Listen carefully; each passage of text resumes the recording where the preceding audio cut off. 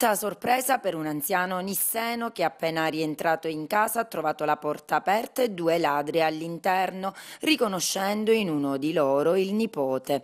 Ad intervenire in via Xiboli i poliziotti della sezione volanti chiamati dal pensionato che ha raccontato così come poco prima avesse sorpreso due giovani che si erano introdotti in modo fraudolento nell'abitazione dove attualmente non risiede. L'uomo infatti abita con una nipote.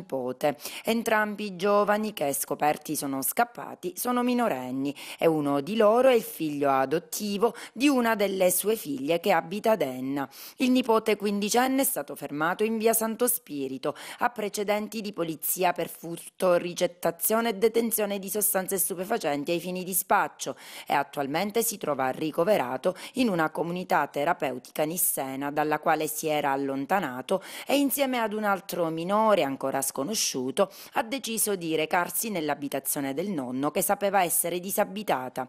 Dalla perquisizione personale, celata nella tasca anteriore del pantalone, sono emersi inoltre due involucri di cellofan contenenti marijuana, per i quali è stato segnalato alla locale prefettura. Il minore è stato denunciato in stato di libertà alla locale procura della Repubblica per i reati di violazione di domicilio e danneggiamento aggravato. Successivamente è stato ricondotto alla comunità terapeutica.